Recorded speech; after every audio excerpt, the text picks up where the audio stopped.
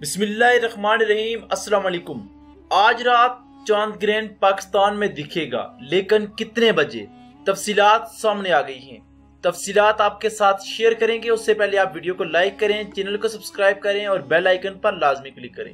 ماہرین فلکیات کے مطابق پانچ اور چھ جون کی درمیانی شب چاند گرین ہوگا اور اسے پاکستان میں بھی دیکھا جا سکے گا۔ پاکستان سمیت مختلف ممالک میں چاند گرین دیکھا جا سکے گا اور کراچی میں نوے فیصد رنگ فائر نظر آنے کا بھی امکان ہے۔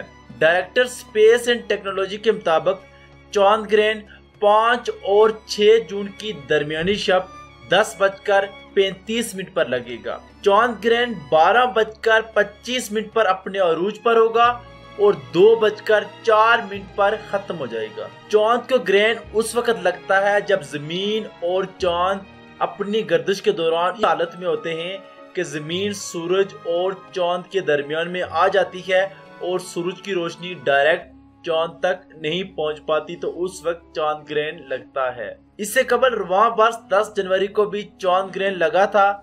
جس کو مختلف ممالک میں دیکھا گیا۔ رواں ماہ سورج کو بھی گرین لگنے کا امکان ہے۔ سورج گرین اکیس جون کو لگے گا۔ مزید ایسی ویڈیوز کے لیے چینل کو سبسکرائب کریں اور بیل آئیکن پر لازمی کلک کریں۔